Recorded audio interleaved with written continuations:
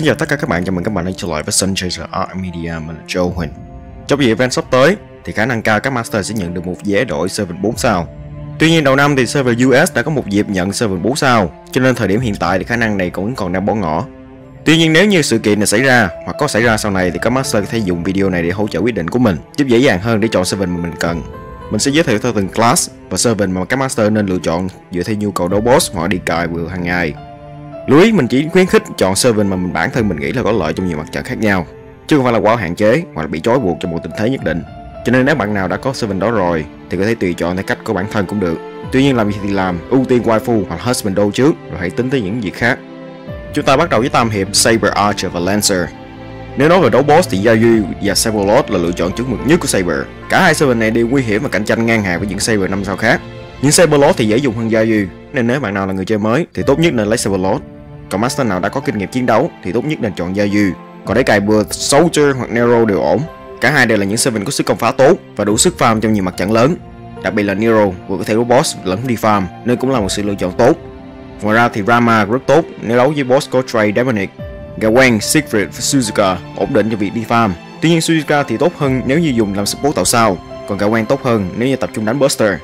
Siegfried thì dùng để đấu những trận có quái trời rồng, còn ngoài ra phần đó thì sát thương không cao lắm. Chọn Dion nếu như bạn cần một tăng ổn định trong nhiều mặt trận. Bản thân mình sau khi Max đánh George thì đã cầm Dion cho tới nay. Chọn Dion mua Saber nếu như bạn cần một Saber Team Quick đấu boss hiệu quả. Tuy nhiên bản thân mình thì thích design, chứ gameplay thì còn chưa tốt lắm. Vì Archer thì đi farm có hai lựa chọn, Atalanta hoặc Emilia.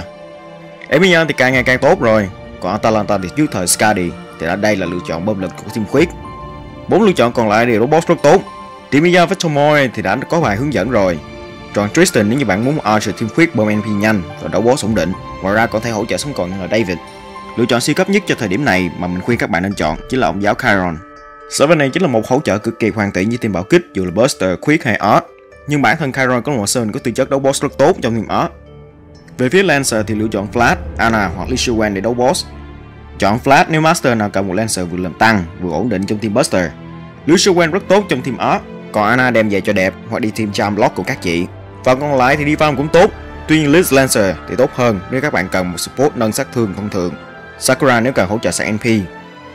Nacha với Valkyrie đi farm thì khỏi bàn rồi, còn Fion thì có thể nói là Seven bị bỏ qua nhiều nhất. Tuy nhiên đây là một máy lúc cực kỳ tốt trong team up. Và lựa chọn tốt nhất trong class Lancer cho các Master đó chính là Lancer Ultra, vừa farm được vừa đấu boss được mà sát thương không thua kém gì năm sao. Về Rider thì Astropho nổi trội hơn hẳn với cục sạc 50% NP, thuận tiện cho việc đi cài. Martha với Marie thì có thể hỗ trợ tốt, tuy nhiên mình không khuyến khích lắm.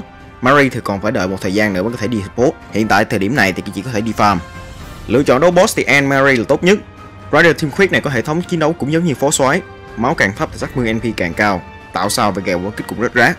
Caster thì ưu tiên Helena trước vì đây là con xe của mỗi nhà. Nếu như Master không có quay về hoặc Merlin thì đây là lựa chọn cực kỳ tốt. Bản thân mình thì trước kia không hề có xe mà chỉ có duy nhất Helena vẫn đủ sức qua được Simusha, nên đây sẽ là servant cực kỳ quan trọng với tân thủ. Ngoài ra thì support như là Guildcaster cũng lựa chọn rất sáng nếu như Master cần một hỗ trợ team art bảo kích. Đặc biệt mình khuyến khích các Master chọn Necrotic. Đây chính là servant đi farm đỉnh cao nhất chỉ do Aras với khả năng NP liên tục, khả năng đột tử quái cao và rất dễ sử dụng. Đây sẽ là lựa chọn phù hợp với nhiều đội hình khác nhau. Alice và Cersei có thể nói là lựa chọn đấu boss tốt nhưng hơi khó dùng nên mình khuyến khích Master chọn Shiba vì mình đã có video hướng dẫn nên nếu Master nào muốn thì có thể xem lại. Lily thì cực kỳ tốt trong mặt trận hỗ trợ bơm máu còn ngoài ra thì thua. Tuy nhiên Edison thì lại là một support nguy hiểm khác mà các Master cần lưu ý. Đây sẽ là một server mang tới nhiều lợi ích sau này cho các Master bởi khả năng tạo sao, tăng overcharge mà còn giảm khu đào. Về phía Assassin phần lớn đều có thể hỗ trợ tạo sao, tuy nhiên chỉ có một lựa chọn duy nhất dùng để đi cài chính là Danzo. Đây cũng là server hỗ trợ sống còn rất tốt. Nếu Master nào cần một hỗ trợ sát thương thì mình khuyến khích chọn Steno. Có hai Seven nổi tiếng là cục mana vàng, đó chính là Steno và Fion. Rất nhiều người bên hai Seven này khi chịu hồi được. Bản thân mình thì chỉ bên khi mình MP5 trở lên. Nếu Master nào đã nghe về chiến thuật Charm Lock thì Steno chỉ là một trong những mắt xích quan trọng của chiến thuật đó. Một Seven vừa có thể hỗ trợ sát thương, vừa Charm Seven Nam, hút thiết, giảm giáp mà còn có thể xóa bóp sau này. Ngoài Steno thì võ hậu có một lựa chọn rất tốt, đặc biệt là trong team khuyết. Trước thời Skadi thì võ hậu đã là một lựa chọn rồi. Những lựa chọn còn lại chính là những servant đấu boss ổn định. Carry thì mình đã có video hướng dẫn. Geoman thì khá khó dùng, nhưng là một servant chiến đấu rất tốt với những chiến lược khác nhau. Yến Thanh thì để cho đẹp thôi chứ gameplay thì chưa tốt lắm. Camilla có thể nói là lựa chọn thích hợp nhất. Từ ví dụ như là Jack phiên bản 4 sao thì Master cũng đã hiểu là có tốt hay không rồi. Berserker thì chỉ có Lancelot là có thể đảm nhận được vị trí đi cài bữa hàng ngày. Bèo ngáo và Fran thì tốt nhưng chưa bằng Lancelot. Mặt trận đấu boss thì Hercules thì khỏi nói rồi. Con dáng bất tử này cho dù về sau game vẫn có chỗ đứng và rất cứng chỗ đó và là lựa chọn cực kỳ quan trọng nếu Master nào là mới về game. Nếu Master chơi lâu thì mình khuyến khích chọn Panther Slayer, Ibaraki hoặc Mèo Đen. Đây là cái tên có khả năng đấu boss rất tốt, tuy nhiên vẫn có thể support nhiều team khác nhau. Đặc biệt là Neon Alter. Master có nghe về Double Scuddy vậy có nghe về Triple Neon chưa? Lựa chọn cuối cùng là Beowulf. Đây là berserker đầu tiên của mình và có thể nói đây là một server làm việc rất trọn vai. Không phải là Beowulf không tốt, như vậy đơn giản là chưa tốt mà thôi. Mà Master hiện tại đang có rất nhiều lựa chọn hơn hẳn. Adventure thì đơn giản hơn nhiều, Gorgon thì đi farm, còn Lobo thì đi boss. Gần đây thì mình mới có Jack, như thời điểm trước đây thì khi cần một server xóa bóp tạo sao mà không hút sao, thì Lobo chính là lựa chọn của mình. Gorgon thì khá tốt, vừa có thể gây sát thương, lẫn gây bạo kích ổn định. Tuy nhiên do NP là AoE cho nên sát thương không cao lắm. Và đó là tất cả những servant mà Master có thể chọn trong thời điểm này. Ở thời điểm kế tiếp chỉ có thêm 5 cái tên tham dự như dạng line up, đó chính là langling, Rani, Asketchum, Asriel và You Baby. Cả năm cái tên ai cũng thuộc hàng tốt, chỉ riêng You Baby thì hơi khó dùng. Nhưng đây thì Sun Chaser có một thông báo nho nhỏ, thì từ hôm nay chính thức sẽ nhận đồ này và mở chức năng thành viên để tính phí hàng tháng. Từ sau khi video về Abigail thì thật sự mà nói mình đã không có đủ thời gian để làm được việc gì, cho nên phần lớn không làm content đều được Team Major đảm nhận. Cho nên hy vọng mở được chức năng này sẽ giúp channel có thêm kinh phí hỗ trợ các thành viên Team Major để động viên giúp các bạn có thêm chi phí sinh hoạt. Bởi vì ngoài tiếng ra thì Leo cũng là một thành viên content khác vẫn còn đi học và phải đảm bảo được việc học hành lẫn thời gian làm việc. Trên channel sẽ giới thiệu tới các master 3 gói thành viên tính theo tháng, tùy theo nhu cầu của master mà đăng ký cũng gói nào cũng được, gồm có The Eyes, The Hearts and The Vision. Những lợi ích mà The Eyes mang lại gồm có quyền truy cập sớm vào các video trước 24 giờ. Sau này tất cả video sẽ ra mắt vào lúc 7 giờ tối Việt Nam, thứ bảy hàng tuần. Nếu có ngày nghỉ thì mình sẽ có thêm video vào tuần đó. Tuy nhiên điều này còn phụ thuộc rất nhiều vào làm việc của mình nên không dám nói trước được, nhưng mỗi tuần sẽ đảm bảo được một video xuất hiện.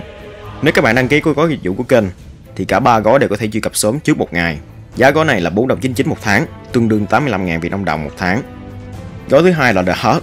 Ngoài việc truy cập sớm, Master hội viên sẽ được đề cử video tiếp theo lên sóng và team sẽ hỗ trợ để có thể làm được việc đó. Video này có thể là đánh giá server mà Master mong muốn, cảm năng đấu boss hoặc là hướng dẫn chạy event. Giá cho gói này là 14 đồng 99 một tháng, tương đương là 250 ngàn. Mình thì muốn giá thấp hơn, nhưng YouTube chỉ định giá cho gói tầm trung, thấp nhất là giá này, nên các Master không cảm. Và gói cuối cùng là The Vision, giữ nguyên toàn bộ các lợi thế từ hai gói trước. Tuy nhiên trong mỗi video về sau, channel sẽ có một đoạn video nhỏ vinh danh và cảm ơn các đóng góp của Master. Giá cho gói này là 29 đồng 99 một tháng, tương đương là 500 ngàn một tháng. Còn nếu Master nào không muốn đăng ký gói nhưng muốn đồ này thì mình cũng đã có PayPal để giúp Master thuận tiện hơn.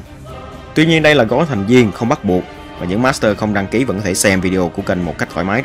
Đây chỉ là cách mà Sun Chaser tạo thêm chút thu nhập cho Master của team, giúp cho các bạn có thêm chi phí để làm content tốt hơn, phục vụ cho Master cho dù là bất kỳ cấp độ nào.